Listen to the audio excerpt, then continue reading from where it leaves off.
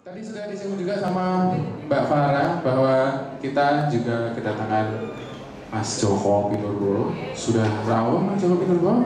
Iya. Alhamdulillah. Dan harus ada sesuatu yang akan disampaikan oleh Mas Joko Pinurbo dan kali ini berupa pembacaan puisi. Jadi monggo waktu dan tempat untuk Mas Joko Pinurbo. Kami persilahkan Eh, terima kasih. Saya sangat terkesan dengan usaha IFA untuk melakukan penarsipan terhadap karya seni. Saya membayangkan bahwa kalau karya sastra Indonesia juga bisa diarsipkan secara digital, mungkin saya tidak perlu kerepotan melayani pertanyaan di bisa mendapatkan karya-karya saya. Eh, pusat dokumentasi sastra Habib Yasin sebetulnya juga berniat melakukan usaha semacam ini tetapi tampaknya banyak kendala. Maka saya ingin berpesan untuk generasi muda penggemar sastra. Tolong suatu saat juga dipikirkan lembaga semacam ini yang juga bisa mengarsipkan karya para pengarang kita. Ini untuk PR dan ketika lembaga itu nanti berdiri mungkin saya sudah bisa menulis puisi. Baik, saya akan membacakan beberapa puisi. Untuk yang pernah mendengar saya baca puisi, mudah-mudahan bosan karena saya akan membacakan sejumlah puisi yang di mana-mana selalu saya bacakan. Tetapi saya percaya bahwa setiap puisi bisa terlahir kembali di tempat yang berbeda dengan suasana yang berbeda.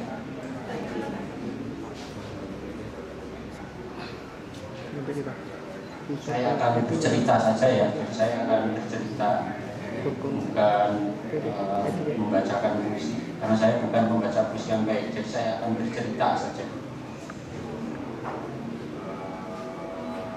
Cerita pertama tentang tukang becak.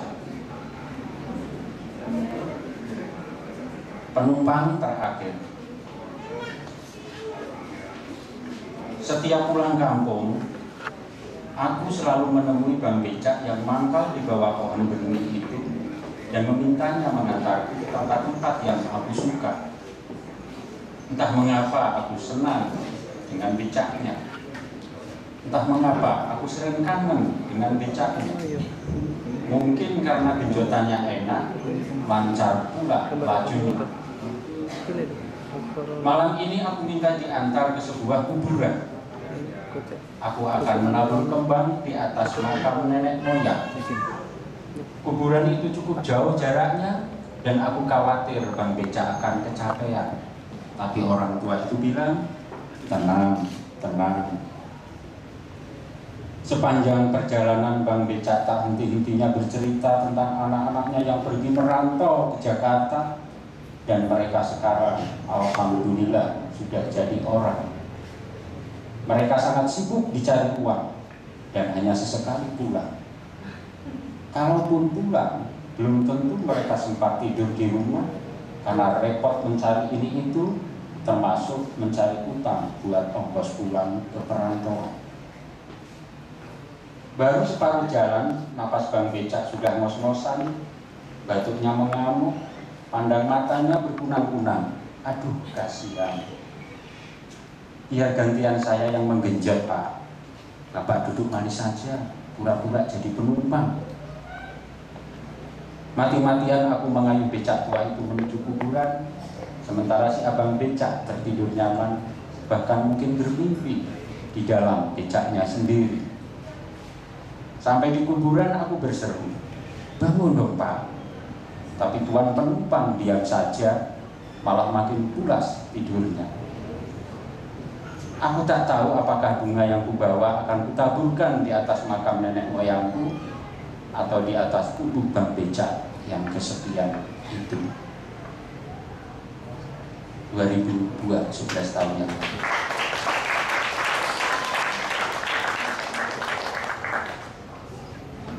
Ini saya bercerita ya, tidak perlu dipikir dalam-dalam.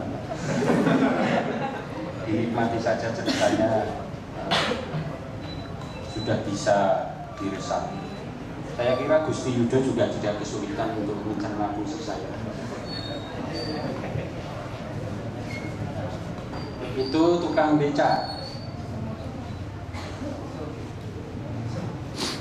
Saya punya puisi tentang tukang yang lain.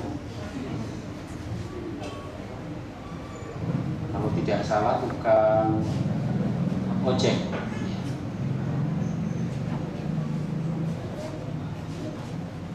Dengan kata lain, ya memang cocoknya pakai lilin gelap-gelap karena puisi saya grantes biasa.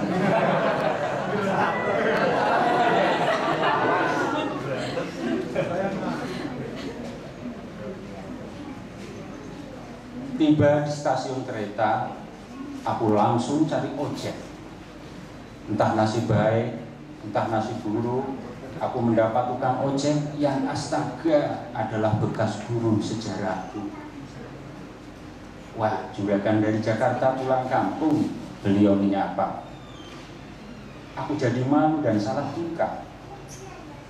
Bapak tidak berkeberatan mengantar saya ke rumah.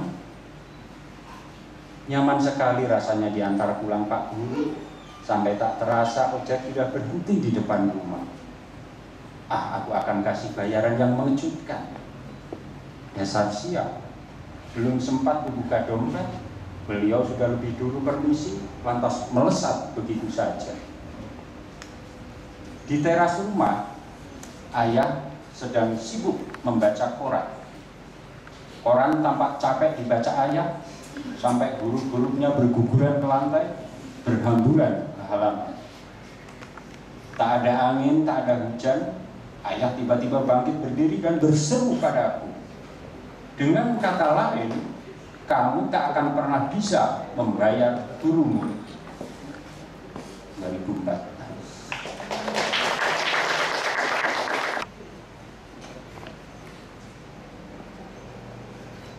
Hujan-hujan begini, penjual bakso dan anaknya lewat depan pintu rumahku.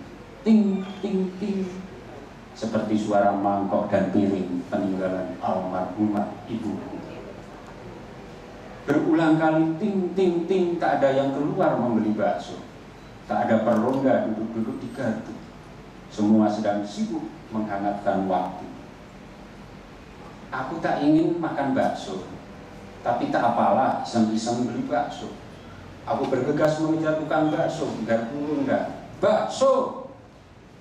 Terlambat penjual bakso dan anaknya sedang didih makan bakso.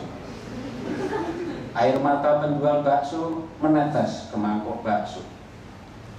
Anak penjual bakso tersengal-sengal terlalu banyak menelan bakso.